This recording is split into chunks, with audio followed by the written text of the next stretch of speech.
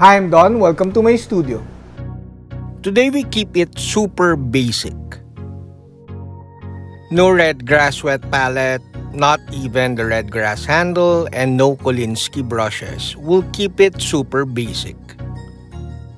However, we'll be using Vallejo of course because I don't want to use those cheap craft paints and I can't. Also, we're painting this WizKids miniature. This is, in my opinion, the most, I mean, the best, like, entry-level uh, model when you want to start and dabble into miniature painting. I'll show you how to thin your paints and basically fundamentals on how to paint miniatures. WizKids minis are so cheap, they're the perfect models for like starting miniature painting. This channel is supported and partnered by these brands.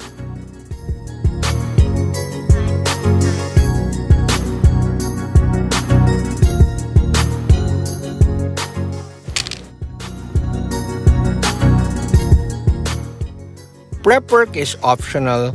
However, since I came from the Gunpla hobby, which is mostly like cleanup and airbrush work, so I'm so used to like cleaning the mold lines and gaps and stuff like that. But we won't really do super cleanup here. I just want to remove the very obvious mold lines.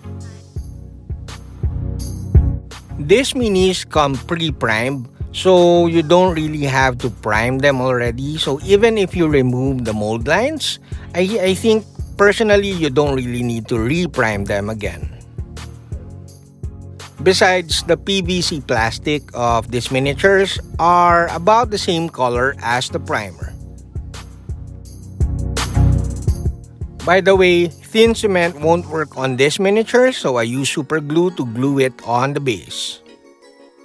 You need something to hold the model, so I'm using a cork here with Blu Tack so that I won't be handling the miniature so much while painting.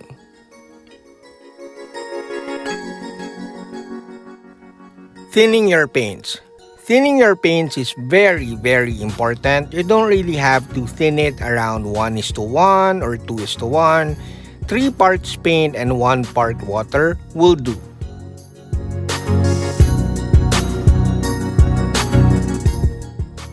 Basically you're trying to achieve like around a very like milk consistency. But I highly recommend if you're painting with light colors like this one the basic flesh tone. Like don't thin it too much because the coverage will suffer. And just go for a like a creamy milk consistency and that will do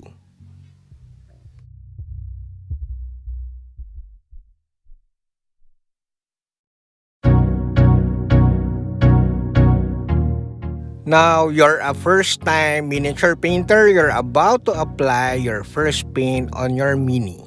Scary, right? Not really, it's not that scary. Once you thin your paints, even if it's just 3 parts paint and 1 part water, nothing can go wrong. Well, nothing can go wrong if you're using good paints because it's it it will be frustrating trust me if you use cheap paints or craft paints or craft paints labeled as hobby paints because it doesn't cover as well and you're learning with like not so good paints and that's not a fun way to learn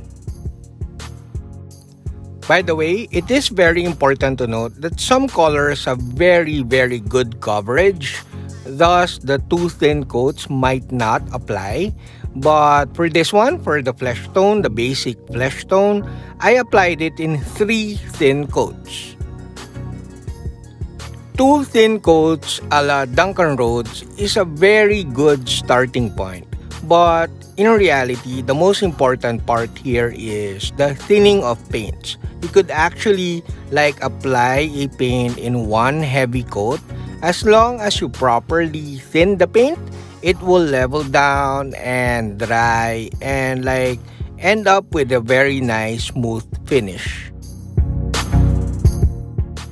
Painting from background to foreground. This is a very like helpful guideline. Not really a rule. There's no rule in art or painting, but it's a very good guideline. This guideline simply means that you should paint, I mean, not should, but you could paint the background first, meaning as you've noticed, we painted the skin first because it's at the bottom level of the hierarchy of the elements of the model.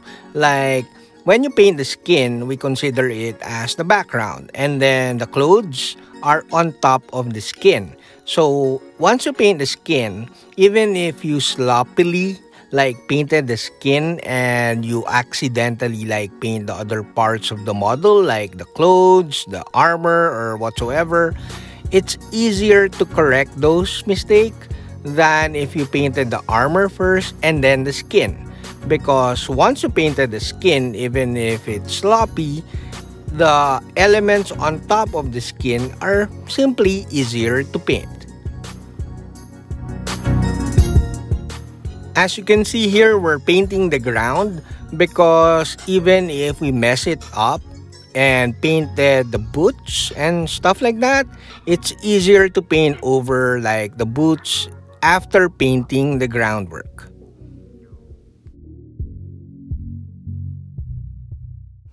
So painting the background before the foreground or painting the elements underneath the model or the base of the model before you paint the elements doesn't matter if the element is small. Like for example the hair it's smaller than the skin. You you you're not painting the hair because it's smaller but you're painting it because it's on top of the skin. And painting elements that are on top of the other elements will, will keep the painting simpler and you kind of follow a certain process that is very easy to follow.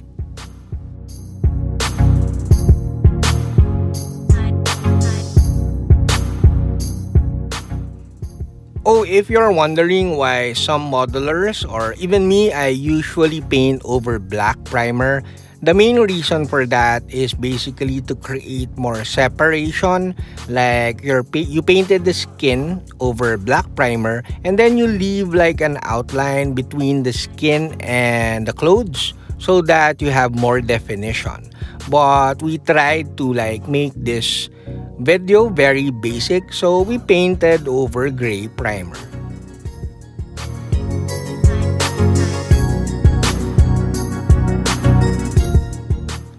Now we paint the metallics or the sword.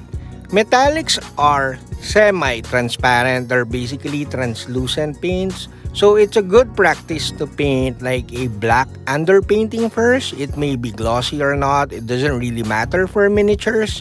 And then you paint the actual metallic paint on top of the black underpaint. Never ever over thin your metallic paints because the metallic pigments will separate with the binder. 3 parts metallic paint and 1 part water is a good starting point but you could add more paint if you find it necessary. Now we are done with the base coat Make sure to wash your brushes really well after painting with the metallics. Also replace your water. You don't want glitters all over your model if you don't change your water.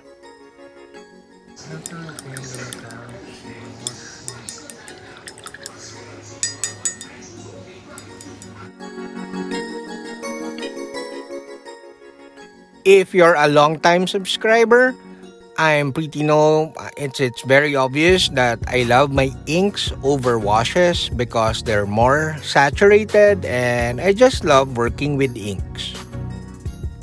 You see in the video I have like two parts water, uh, no, two parts wash and one part water. I thinned one of the dish, one of the like hole in the mixing dish has a thinned wash and it was too subtle so I don't really recommend it. But it's a good way to like dip your toe so that you know the coverage of the wash or the paint before you like paint it unthinned. Now we're applying the flesh wash all over the model, unthinned without water and stuff like that. But make sure to apply it all over the model, especially all over the skin parts, so that you won't produce coffee stain. Another simple trick to avoid coffee stains is to wet the whole model before you do the washes so that once you apply the washes, they will they will the edges will kind of blend because of the wet model. Now we apply the umber wash. This is darker than the sepia wash, but is like has less color. It's like a mixture of sepia and black wash. So again, we wanted this painting video to be very basic. So I kinda showed you that even applying the wash like this very liberally, you'll produce a good finish. Another quick tip, do not use a hair dryer to speed up the drying process. If you apply the washes as much as this you could see in the video, just let it air dry. As much as I want to say to avoid pulling of the washes, as you gain experience with using washes, sometimes you really like those pulling once in a while. Now we let this air dry for a few minutes and we're done.